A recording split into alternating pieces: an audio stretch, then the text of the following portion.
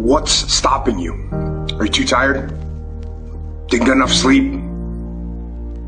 Don't have enough energy? Don't have enough time? Is that what's stopping you right now? Don't have enough money? Is that the thing? Or is the thing that's stopping you you?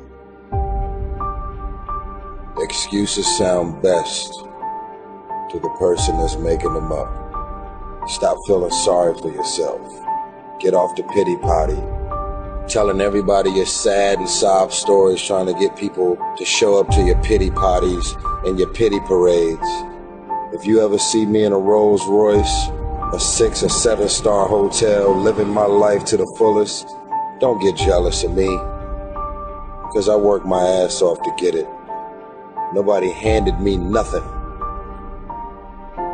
Wake your ass up. Awaken the beast inside. It's game on. It's go season. It's time for you to take advantage of the access and the resources that you have in your country and your community.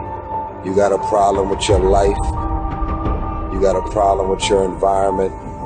Do something about it. If you want it, go get it recognize the excuses are not valid. They're conjured up, they're fabricated, they're lies. And how do you stop the lies? You stop the lies with the truth. And the truth is, you have time. You have the skill, you have the knowledge and the support and the willpower and the discipline to get it done fruit of everything good in life begins with a challenge. Everything is uphill that's worthwhile.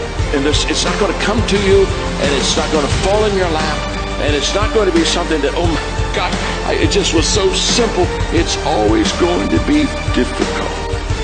If you want it, you gotta go get it. This is your chance.